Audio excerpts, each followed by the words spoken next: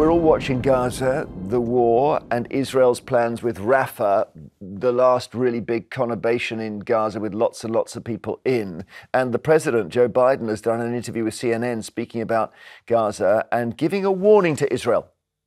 If they go into Rafah, they haven't gone into Rafah yet.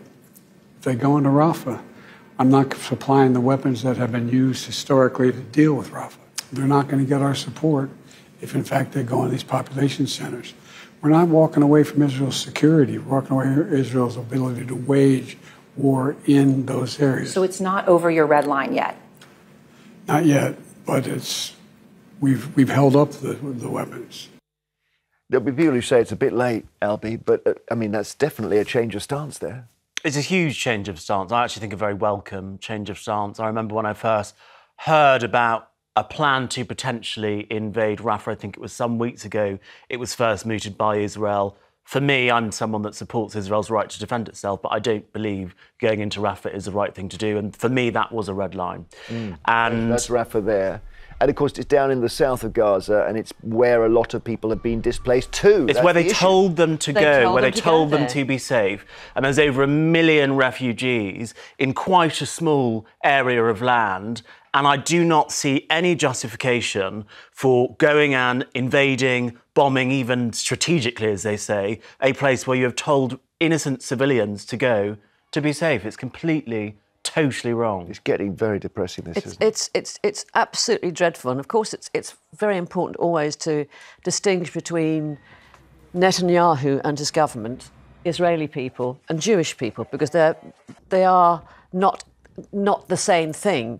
And Netanyahu is, is pursuing this partially, I think, or uh, uh, people think, because of his, he has hawks within his. well, he's got some his- serious right wingers. Yeah. Yes. Yeah. And the thing is, the longer he keeps this going, the longer he stays off being um, kind of not prosecuted for uh, uh, you know crimes against humanity, but also his own personal standing within Israel. But you know that there are all sorts of charges that kind of Trump like waiting for him.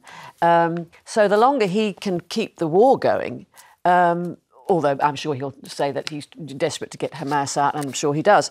He, he wants that. But there are there are personal issues Yeah, at play. and people miss. He, he has got a number of pressures. He's got these uh, almost extreme right wingers in his cabinet. He's got the hostages' families who are Yep. doing marches who say he's not doing enough.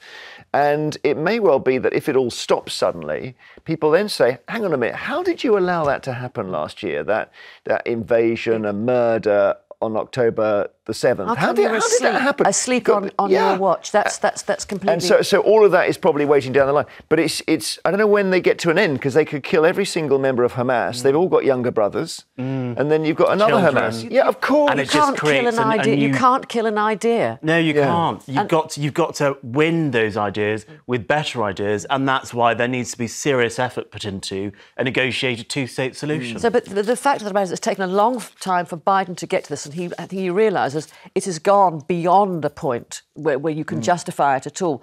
Plus, he's got all his students rioting.